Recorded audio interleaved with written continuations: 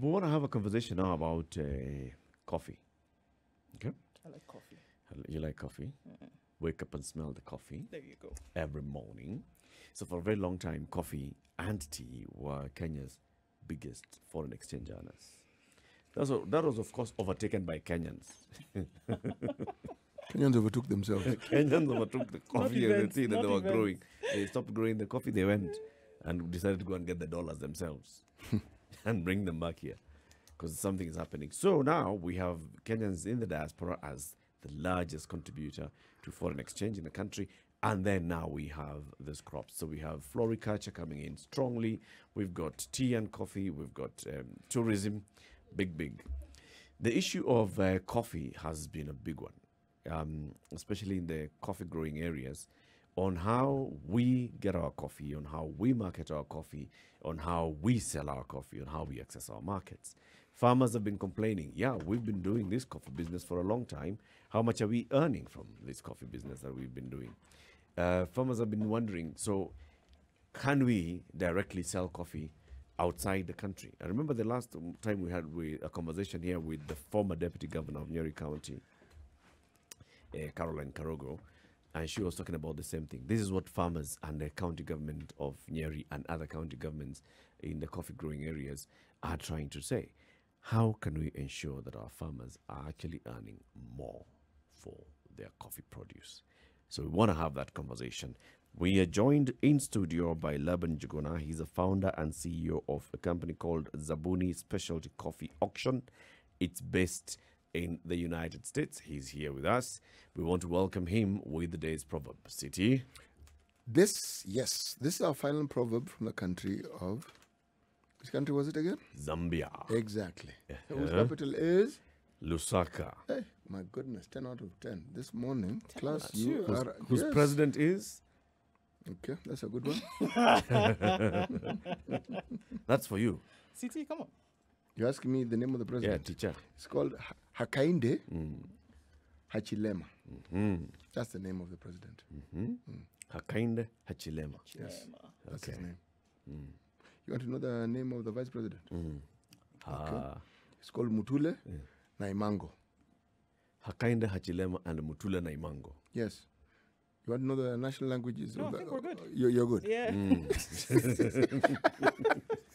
the nation, what's the national language actually? It's called Bemba. Mm-hmm. Chibemba. I thought you were going to say it's called Kwacha. Hapana, that's a currency, sister. So the currency is kwacha. yes. All right. Okay. Mm. Proverb. If you do not have teeth, do not break the clay cooking pot. If you do not have teeth, do not break the clay cooking pot. Yes. Chunga sana. Specifically, clay cooking pot. Mm. It was used for something very specific. Yeah. Yes. Let's hear whether Laban Njuguna, our guest, understands this. Laban, good, good morning, man. Good morning. Good morning. Welcome to the hot seat of Kenya's biggest conversation. Thanks for having me. Um, it's a pleasure being here. Uh, we we tune in and watch you guys every day. We learn a lot uh, from this show. So uh, kudos. You guys have done fantastic. So even when we're over there, Mm. we're tuning in. Over there. Yeah. Where is over there? Uh, I'm in Nebraska, uh, USA. So diaspora. If there's any show I tune in for on radio, it's this one because we the diversity, you know, of thought of guests. It's fantastic. Karibu sana. And thank you for keeping it locked, Mm. even from Nebraska. Thank you. This proverb from Zambia, what's your interpretation of it? Wow. Um, my reading of it is, uh, you know, if something may not be of benefit to you, does not necessarily mean it will not be of benefit to others. Mm. So um, uh, don't go through life just destroying stuff. Um, you know, uh, can we do better? Can we leave um, our environment, our country, uh, you know, better for other generations? So uh, just because something may not be of benefit to me does not necessarily mean it's not of benefit to CT or somebody else. Right. Lebanon, how long have you been in the USA, in Nebraska, and what have you been doing? Um, in the USA, I've been there for 22 years. In Nebraska, 11.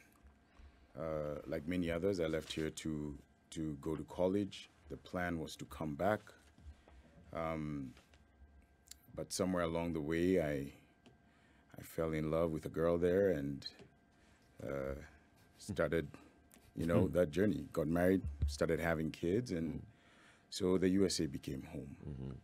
Having said that, I'm in Kenya about four to six times a year. I do come pretty often, of course, Four to because six of times every year. not 46, four to six. Four yes. to six times. Yeah, so I'm, I'm here. I'm here rather often. yeah. Uh, of course, I still have family here. My dad's here. I have a brother here. My grandmother. Um, but so so it's home. Uh, yeah. So uh, I, I love the place, but you know this is the country of my birth. But uh, that's where I live. Right. Yeah. So Zabuni Specialty Coffee Auction. Tell us about it. So Zabuni Specialty Coffee Auction is the first regularly scheduled specialty coffee auction in the world. I know that's a mouthful. But basically what it is was when we got into coffee um, about 12 years ago, uh, when I looked at the origin and I looked at the market, you know, things were not making sense. Because here, uh, coffee farmers are some of the poorest people in, in the world or in this country. But when I look at the market today, there's no time like now that, you know, uh, they pay a really high price for coffee, the consumption of coffee. And this is largely being driven by millennials and Gen Zs. They'll pay six, seven dollars a cup for coffee. It's it's it's not a fad anymore. Uh, they've been keeping this demographic since about 2010, watching uh, what specialty coffee is doing and what this demo- why these demographics are consuming this coffee. So it's it's a cool thing, but after 10 years of double digit growth, this is not something that's going to go away. Um, their parents were used to drinking, um, you know, Central and South American coffee, just get your fix. This this demographic, this generation, and it's a huge demographic. We're talking a demographic of 120 or close to there million people in the U.S. It's a huge demographic, therefore it's a huge market. They they're about experiences. They're not just about getting the fix. It's about what am I experiencing, um, and then they're also about ethical sourcing. They're about uh, communities, the social aspects of of what happens to where the products they consume come from, um, and and stuff like that. So the reason these guys, um, or the reason we started Zabuni was because we just felt in the value and supply chain, the coffee farmer has been left behind repeatedly. And so I don't think that's by mistake. I think it's by design. Oh. Let's define specialty coffee. Yes. Just to be sure. What is that? So I'll, I'll just keep it simple because there's a there's a, There's a- thesis. yeah, but uh, basically, specialty coffee is coffee that cups at 80 and above. Coffee has grades, so between 50 and 60 commodities, 60 and 70, or 60 and 65. You know, they're about, uh, you know, uh, is all considered commodity. Then you start getting into premium coffees. Specialty is only 4% of world production, but that's what these young demographics are consuming more than anything. Sorry, Laban, you say 60 to 70, 60, 60 to 70. So it, what? it's a scale. It's a scale out of a hundred. If it cups at that, when they there's something called cupping, which is uh, like maybe a wine tasting, but that's how you determine the quality of coffee. Right. Um, here, they tend to look at the screen size. On the market side, we tend to look at the cup. What does it taste like in the cup? Because that's what the consumers are um, are, Are enjoying. experiencing. Yes. Uh, so Kenyan coffee, by and large, is always maybe uh, in that 70 to 80 range where you have premium and premium AA, and then a lot of it is also into the specialty coffee market. The problem is we're not good at defining Kenyan coffee as specialty uh, because we don't understand what it means on the market side. We don't understand that the moment you have that quality of coffee, we're producing it, but the people that come source it will never tell you this is specialty because they'll have to pay you more. But on the market side, the moment it crosses the border, then they'll slap it with all the specialty coffee. Uh, you know, uh, So people who are Monica's selling in again. Kenya are just selling coffee. they're just selling coffee, not knowing. The people who are buying are No. buying. specialty. They know they're buying specialty. What prohibits that tag then from being placed on Kenyan coffee in Kenya?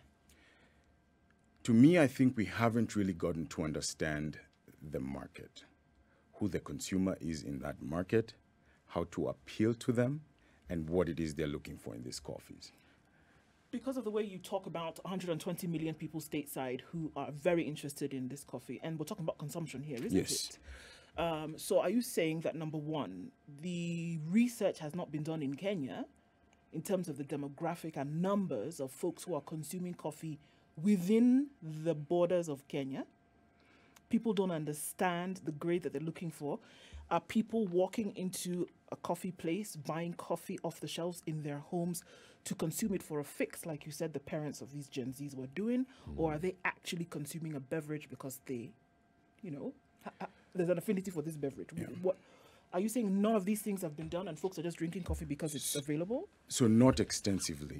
Um, only three percent of production of coffee here is consumed locally. Ninety-seven percent is exported. Um, we drink tea here. Yes, We don't drink coffee. a lot. Yes. So one of the things that you know we can do uh, to increase competition, make it better for the farmers, is create awareness here locally. Mm. You know, trends today are global. So when you have Gen Zs and millennials there doing things, it's a matter of time before it'll translate here. Mm-hmm. Um, nevertheless, we are still tea drinkers farmers, first and foremost. I believe that 3% that is consumed locally is probably the expat community and, mm. and, and visitors that come into the country. Yes. So the best coffee that is Kenyan, you don't find it here, you find it outside. Um, so I, I, I don't think we've done a good job of understanding the market and understanding who that consumer is. I find that hard to believe. Because coffee has been grown in this country for how many years? It was introduced by people who understood the market. They've been growing it here. So, yes, there are small scale farmers of coffee, and there are also large scale farmers of coffee, coffee estates. Those with coffee estates were doing it commercially. One of the things that you'd expect that they would do is understand what their market is and how they market thinks. So, really, I'm finding it difficult to actually believe that 60 plus years of coffee being grown in Kenya and being sold externally, and those that have been in this business have not understood the market. Actually, uh, Arabica coffee was introduced in this country in 18, 1893. 1890. 1893. Yes, so it's been here for a long time. Yeah. It's over a century. But then, Eric, th- think about it for a second. Even when we talk about tea, most of what we drink, or what we call tea bags, is tea dust, just so that we understand. Locally. Yeah, it's the specialty tea, the PF1, that is actually used for blending other teas. Those who are in the tea trade know this, they mm. will understand it. The rest, what? And there's something in coffee they call mud, mm. okay? Now, that I didn't know until the former deputy governor of Nyeri came and explained this to us. Mm. I'm simply saying this that the point you're making in my mind is an extremely valid one, but I have to add this rejoinder. Are you saying that the knowledge that we have of coffee, how, let me think of a polite word, is actually useless because we grow this coffee, it's meant to benefit us, but it doesn't benefit us as it should because we don't have adequate knowledge. Is that what you're saying? What I'm saying is we're very good at producing coffee, mm. but they limit our capacity and ability to the borders of this country because then it benefits other people. They come and take it from there. We're good for the labor, but we're not good on the dividends part of it to, to, to receive our fair share. So, CT, what your question is profound, it's fantastic. Um, Yes, that's exactly it. We if we have it, there are certain forces maybe that are not allowing us Yeah. um, to really exploit this information because if you look at even the the coffee task force Yeah. They have literally nothing about marketing in the western. It talks about the origin it talks about the, the supply chain here but doesn't go beyond the borders of kenya. Why? Because that's what we do. We produce the best coffee in the world hmm. then we wait for somebody to come and get it for us as opposed to So we are not in control of the entire value chain of coffee. We are only here dealing with production. From that point on, marketing into consumption, we have zero control over absolutely zero by design. I believe it's. I, I can't sit down and say that this is just happenstance. It's been a hundred years of producing coffee. We've been selling coffee in Kenya the same way uh, for 85 years, and we've never changed or looked at. Is there anything different we can do? They've introduced, you know, they've tweaked things like uh, you know bringing in the, the second window, which was done by uh, President uh, Kibaki, where they allowed um, certain people to seek buyers directly. Um, so they've done changes here and there, but holistically, they're always trying to do the changes locally, where I believe the changes need to be made are to access that market directly. Is there a country that you can use for us to benchmark with? Um, Ethiopia has done a fantastic job of that. What they've done is um, we had the leading market share and mind share for coffee in the United States of America for a very long time, up until maybe uh, around 2009, 2010, we started seeing those demographics changing. Why? Ethiopia became a little bit more aggressive into accessing the market. The other thing Ethiopia did, Ethiopia doesn't allow foreign companies to come into Ethiopia and deal with the production uh, and and and uh, you know part of the primary and secondary processing. They don't allow that. Kenya, we've allowed them to come and do everything. So what happens is now you have Ethiopians not only involved in the production, but in the early parts of the value uh, addition, you know, processes. So uh, basically, um, foreigners, the big multinational corporations that we know come from uh, Europe, Asia, and Middle mm-hmm. East. In Ethiopia, they don't just have free reign, and here I think that has How does the how does the bit. Ethiopian coffee get to the market, to the international market? So it's by the way, Ethiopia learned their coffee model from Kenya. Mm. This is where they learned it from. They came here and learned how to process coffee, how to mark all those things they learned from Kenya. Now we're going back there to learn from them. Mm. So uh, yeah, it, it, it is it's an odd uh, uh, uh, kind of thing there that has happened. But Ethiopia is very good um, uh, at having their own people, places like North America, where they go set up their own entities and present this coffee to the buyers themselves there. With government backing. Whether it's government or private funds, I don't know. But I know that the Ethiopian government has been very good at helping to market their coffee in the North American market. And it's become very popular. Now it's the most consumed uh, African coffee in the, in the US. It used to be Kenya, but that's gone. Who's benefiting from these folks having free reign to sell coffee or to brand it as they wish in Kenya? Who's benefiting? Uh, not the farmer, I can tell you that much. Um, here's the thing I'm not against entrepreneurship or business. If there's a way that you can add value to somebody or a process, by all means, please do it.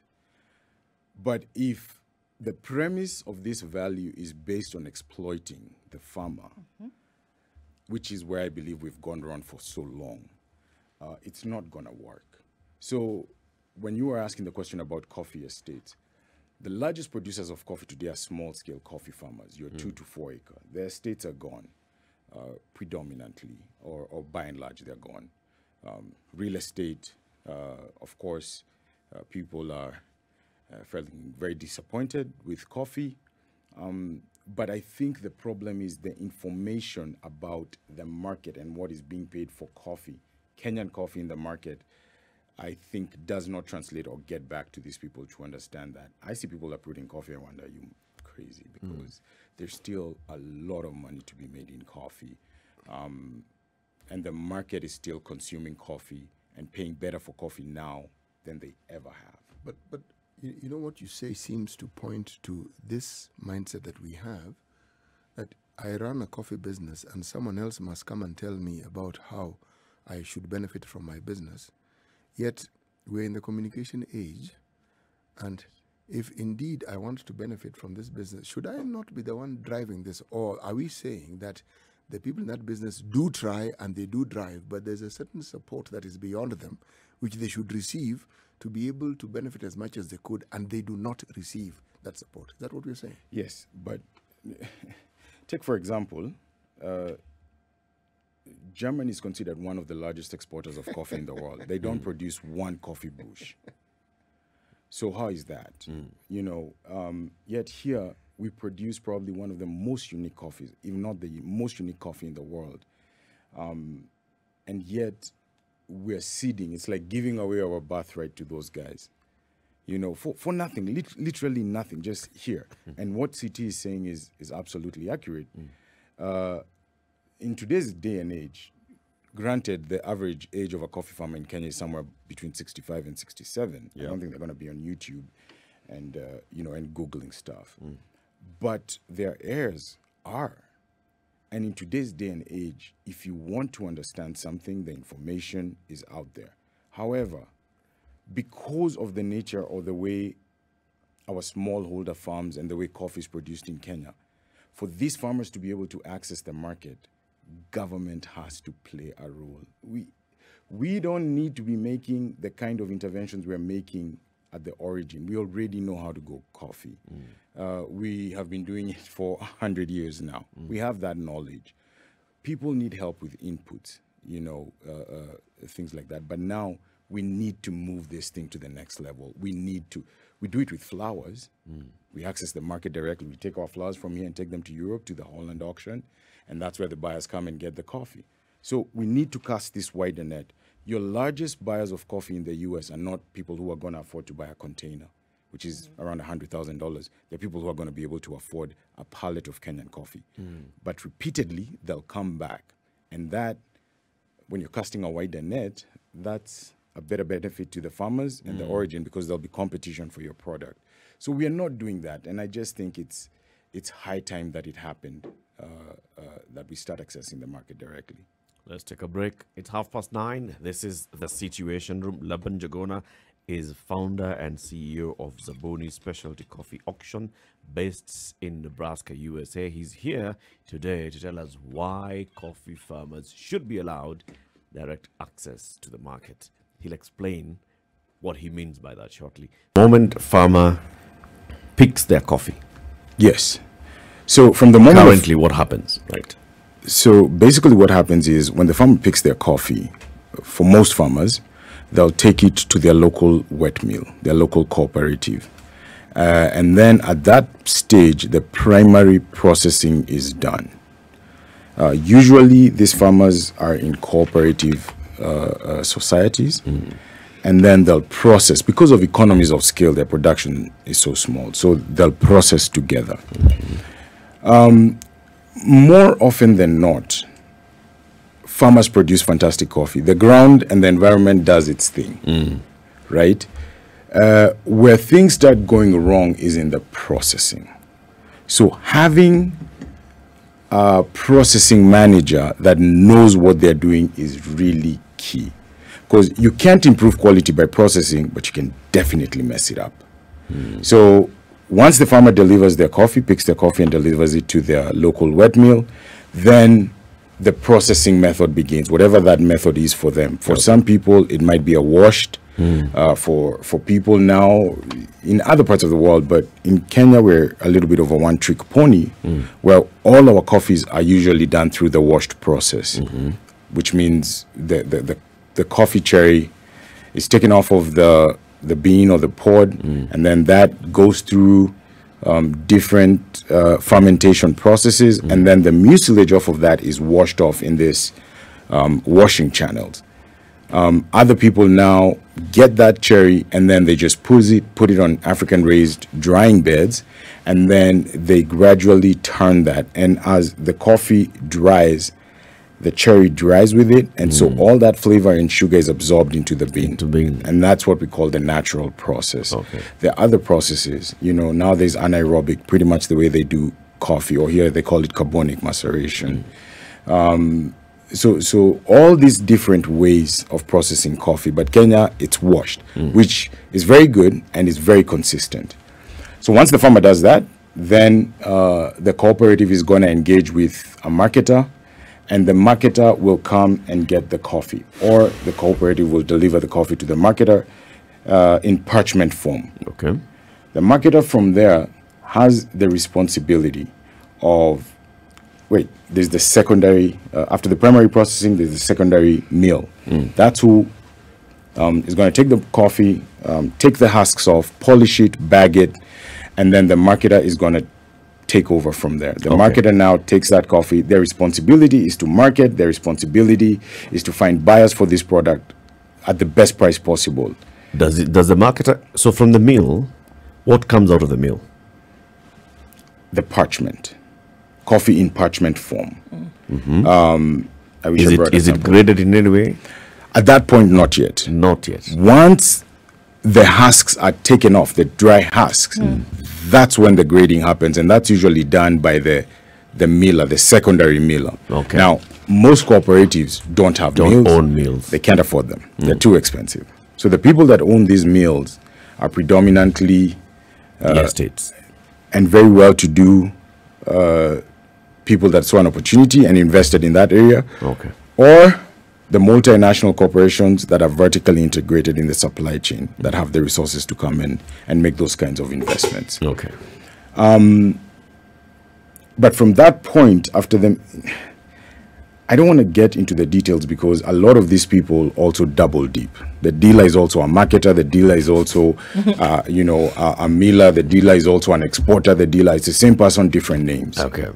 So let's just go with with with a position in the in the value chain. yes. So you've got the big miller, who will then now come and start categorizing it, So now they'll yes, and they'll- then they hand it over now to the marketer. yes. Okay. So the marketer will present those coffees to the auction or through the second window to a buyer. Basically, the second window means that it doesn't go to the Nairobi coffee auction. This is hmm. just a direct deal. You've liked the coffee. I've told you what I have. You've agreed on a price. Pay. Go. Okay. The auction is supposed to be open to everybody who is licensed to access that auction, but it's a very limited number of people Who are licensed. who are licensed by the government of Kenya to be at that auction, either you know to buy product. Um, and I think that's part of the problem here. Is is What's the the li- qualification to be licensed? Well, there's a process. There's a vetting process, and then you got to pay the fee. Hmm. Um, you know, before I think there was a time you had to have to be a marketer. I think you had to have a bond of about a billion. so there was only I think six or something so licensed marketers in this country dealing with all of Kenyan coffee. I think now it's a hundred million. Mm-hmm. Still, there's not a lot of people who have a hundred million sitting somewhere. Mm. You know, to To place as a bond. Yes. So they're, they're still very limited. The marketers are still very limited. I don't think there are more than 20 in this country.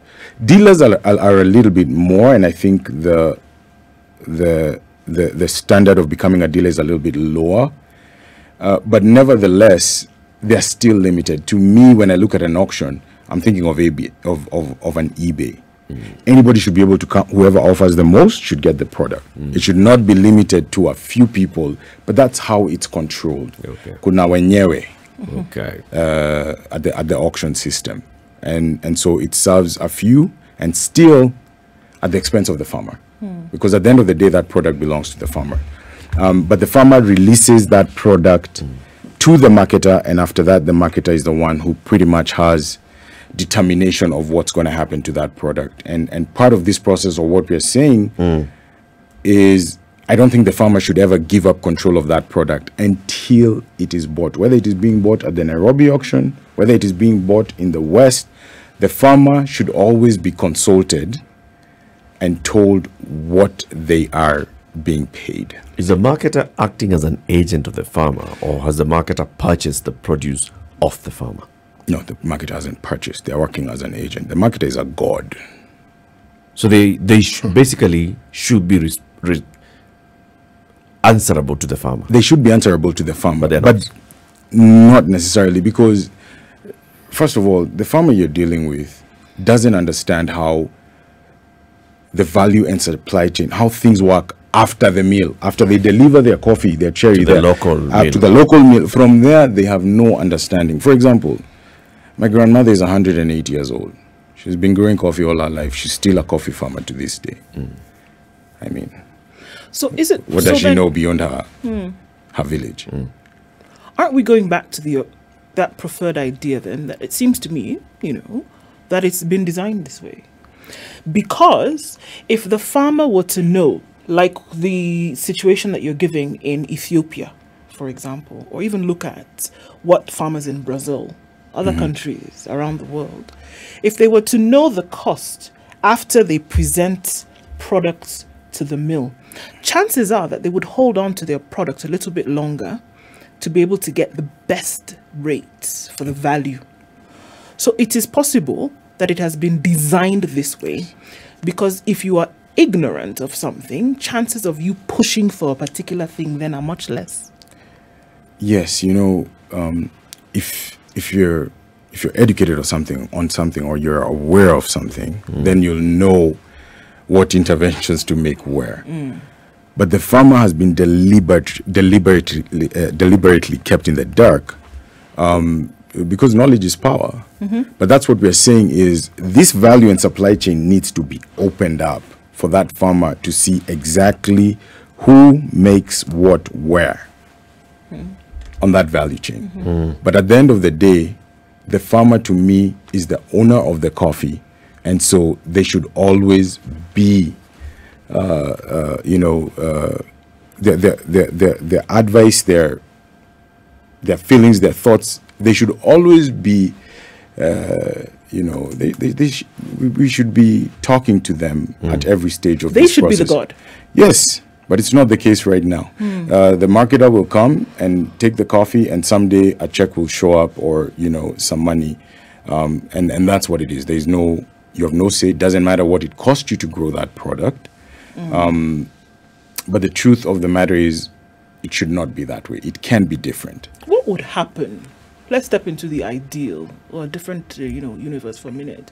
What will happen if we're looking at the Kenyan situation and the farmer is empowered, the farmer is aware, and the farmer is making a little bit money? What would happen across, you know, along this chain, marketer, miller, etc., etc., export? What would what would happen? So it's already happening. Basically, what's happening right now is that what is being paid is not coming back to the farmer. Mm. On the market side, they're paying good money for mm. Kenyan coffee. Mm. It's just not coming back because of the number of people in this value and supply chain dipping their hands in that cookie jar. Yeah, I'm trying to. I want you to paint a picture of what would happen if it was. So, number one to me would be there would be a major difference in these communities. Uh, their families, their economic and social welfare will be better. Um, don't forget about you know the foreign currency that would be coming back to this country. Today, the people who come and buy, when they do the value addition and do whatever there, the money stays there. Mm-hmm. But if we were selling our product there, if we were exporting, then money would be coming back this way. Mm-hmm. But it's other people who are coming and exporting it for themselves. I, I, I, I know it may seem a little bit unfair. I'm an eternal capitalist, but every country does this. There's, mm-hmm. Everybody protects one way or another. Their their Their own. producers, or exactly, you know, we're not trying to be unfair, but we're also saying that some things need to change. Now, mm. here's the thing that for me I'm really advocating for is that the farmer should be given the choice. Mm. Should they sell their coffee here or should they sell it directly in the market? Ah. Now, this farmer cannot afford to get their product to the market. Mm. You know, the, the, the, the, the, the costs. Um, and that's where I see a role for government coming in, especially if now we have, you know, the deputy president in charge of coffee uh, and, and, and, you know, trying to find a way of making sure that farmers uh, uh, I don't want to use the word guaranteed, but the Mm. farmers do get a living wage or they're able to earn a living Something wage from the it. exactly. Then it's never going to happen if they do not access the market directly. Directly. We'll be back here But five never. years from now, ten years from now. It'll never happen. Laban, you've just told us about, you know, the case of your grandmother and very many of our grandmothers and elderly parents who are still in the coffee business. They don't understand anything beyond picking coffee, taking it to the nearest uh, Yes, mill. yeah. there. They don't understand anything more. Now you're telling that this person to access the market directly Yes. with a limited knowledge. Aren't you opening the door for bigger vultures? That's where government comes in. There has to be policy, there has to be framework that protects my 108 year old grandmother. Now, we already have a very organized structure. Uh, it has very poor leadership and governance, but the structures are there. The other thing is, if government really wanted to make a difference in coffee, the infrastructure is there coffee it would not require huge investments the investments would need to be made in the in the marketing or the branding of the product but locally we have billions in assets and infrastructure here that can be switched on tomorrow and it's good to go But you're depending on government goodwill. The same government that's in control of the auction process. The same government that has controlled the number of people who act as marketers, who act as, uh, are we calling them, agents in the auction? dealers The dealers in the auction. This is the government, instead of saying open up so that we have more dealers in the auction, open up so that you have more marketers in the option.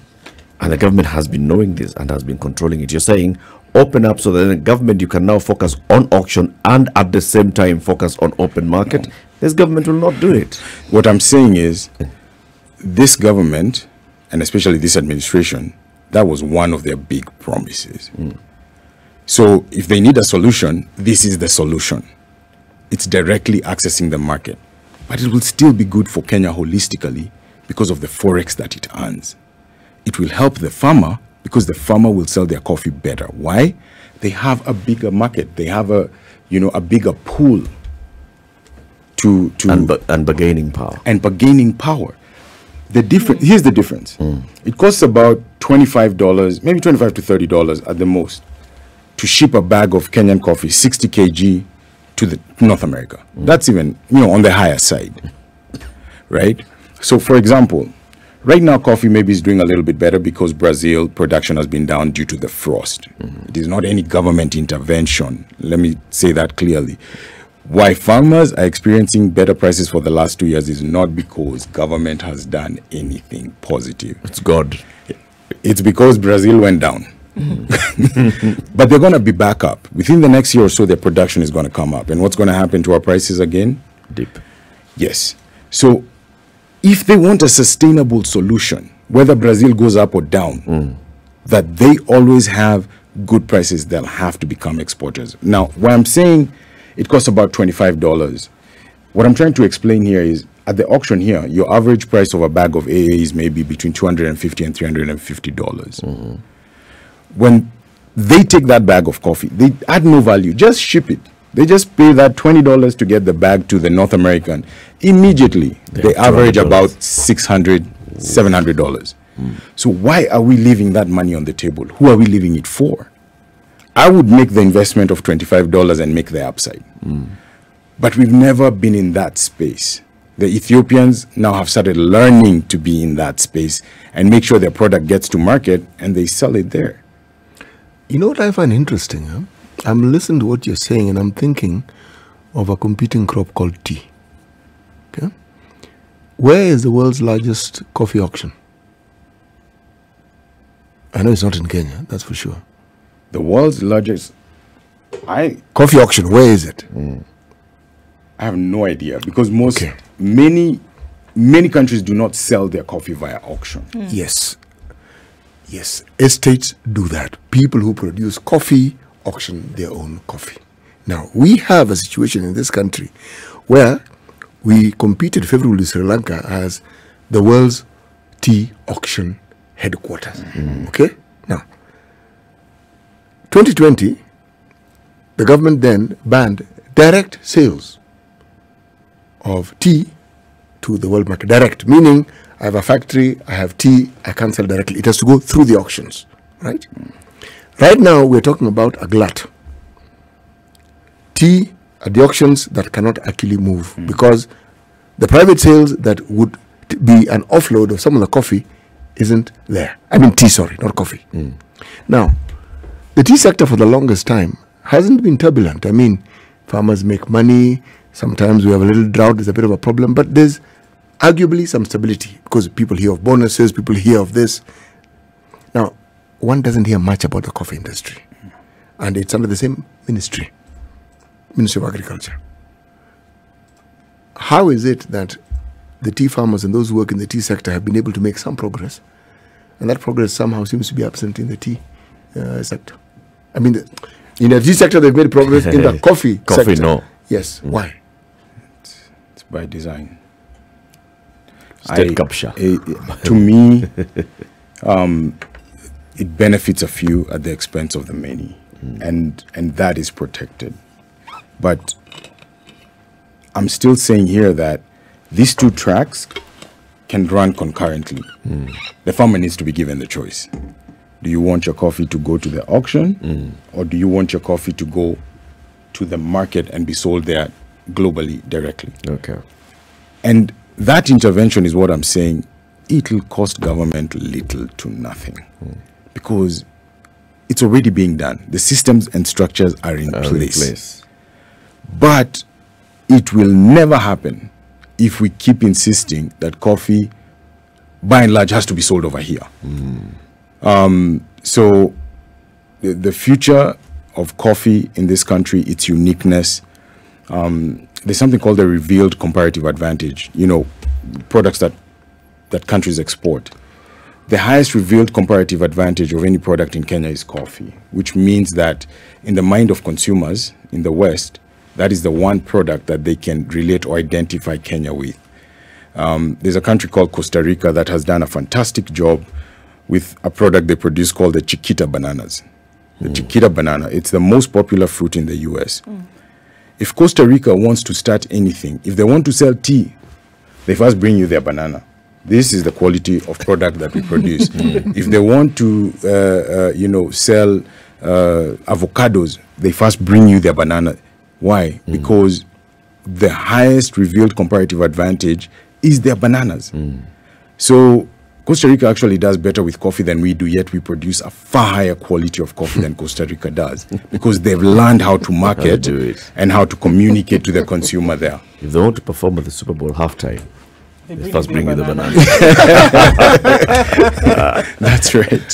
when the Kibaki administration opened this secondary window, what was that? And so why wasn't that fully open to what you're talking about? So the second window is basically another option. For a long time, the second window wasn't there, and farmers really fought, oh, we want to sell. They were given the second window. That's what, you know, that, that that's what uh, uh, government envisaged as a way. But the people who are in the value and supply chain, the traders, know very well that farmer can't go and market the coffee in the West. That farmer can't, you know, they know that. So it's it's helped, but it's a large. By and large, I can say it's been ineffective because now we can look and see that the farmers are not doing. Me, my barometer is always is the farmer doing better. If the farmer is not doing better, then whatever initiative you've come up with is It's a flop. 40 seconds, no, 30 seconds, Lebanon, Pass a message to the government. So the deputy president is now in charge of this coffee business. Speak to him. If I was sitting in front, I would tell him I see his passion. I see that he does want to make a difference. But I also see that there's some information and, uh, and uh, knowledge that has not gotten to him. And I think that needs to be put in front of them. Uh, we have all the data, we have all the numbers, and we can show them exactly what it means to access the market directly and to make sure that that farmer gets a guaranteed minimum return. We know in the West we don't like saying that. Uh, it, it scares a lot of people. But basically, what we're just saying is we're guaranteeing that farmers are going to do well and earn a living wage. Okay.